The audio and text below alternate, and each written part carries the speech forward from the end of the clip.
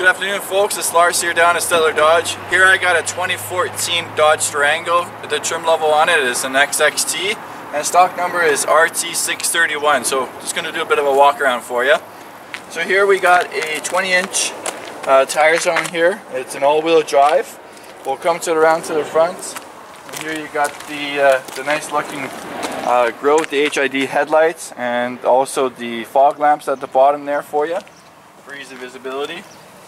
And uh, you can see that it's in really good condition all the way into the back here.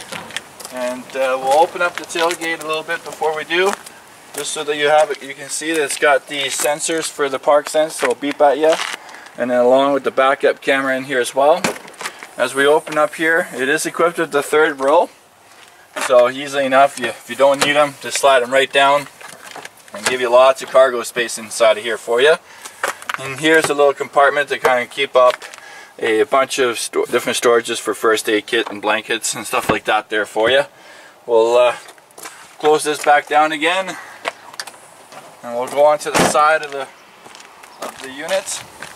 As we come around here, you're going to then have seen that you've got another bench inside of here, so it seats seven people, and then uh, lots of ventilation in the back, and then the climate controls in the middle there. And then you got the vents up in the ceiling there to give uh, comfort comfortability for uh, the kids or for family that's traveling along with you. Proximity key, so it's just uh, you just grab the door handle and it'll open up and then you'll have your features for your door locks and windows and power side mirrors along as well as the power seats and lumbar support and it's also equipped with the automatic headlamps and then the fog lights just to push in there for you but we're gonna hop on the inside and we'll go through the Alright, so we're on the inside. Here you can see the proximity key. So no, no key, it's just a push start button. Here you got your controls or your uh, plug-ins for your different gadgets that you're going to be plugging in. Here's your parks in, sense and your anti-spin. It is a dual climate control. It does have the buttons or the features for the heated seats and the heated steering wheel on the inside of here for you as well. It's also equipped with the 8-speed transmission inside of here for you.